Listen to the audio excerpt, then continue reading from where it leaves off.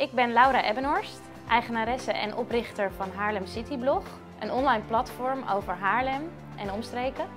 Wij schrijven voornamelijk over nieuwe plekken die er om te ontdekken zijn in onze stad.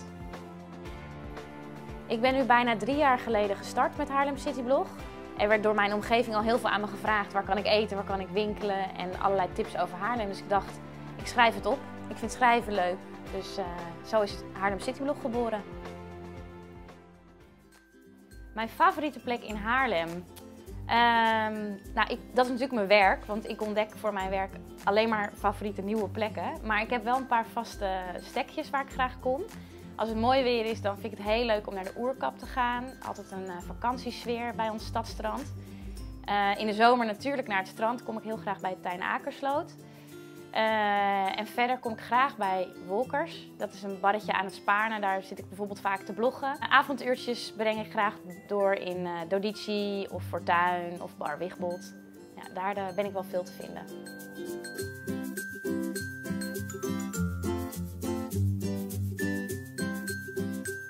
Nou, dan heb ik het al snel over transport. Want als je ergens rechts afslaat in Haarlem met de auto, dan moet je een heel rondje om de stad rijden voordat je weer terugkomt bij de plek waar je was. En ook de stad uit is een ramp natuurlijk met de A9. Dus dat is wel een beetje irritant.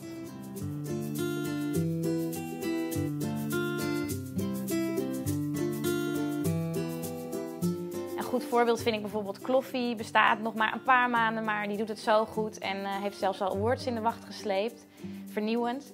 Uh, verder ook Erik en Misha die bijvoorbeeld met Dodici iets heel goeds hebben neergezet. En nu Fortuin. Vind ik gewoon heel knap. En uh, nu net nieuw in Haarlem is de Yoghurtbarn. Die doen het eigenlijk al hun promotie met social media op een hele goede manier. Nou, er staan alleen maar rijen voor de deur elke dag nu.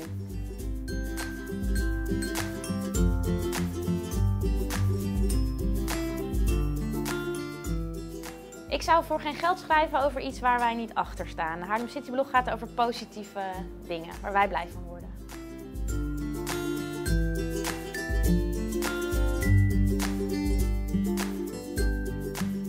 De Brinkmanpassage, midden op de Grote Markt. Een doorn in het oog. Iedereen heeft het erover, maar het staat er nog steeds. En je kan er zulke mooie dingen mee doen met die plek.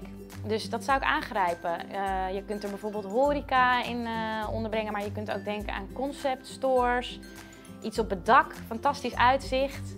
Kan je mooie dakkassen maken. Doe er iets mee, want uh, dat is een geweldige plek. In mijn omgeving vroegen veel mensen tips over eten, drinken, uitgaan in Haarlem. Ik miste eigenlijk ook een blog met deze informatie, dus ik ben uh, Haarlem City Blog gestart.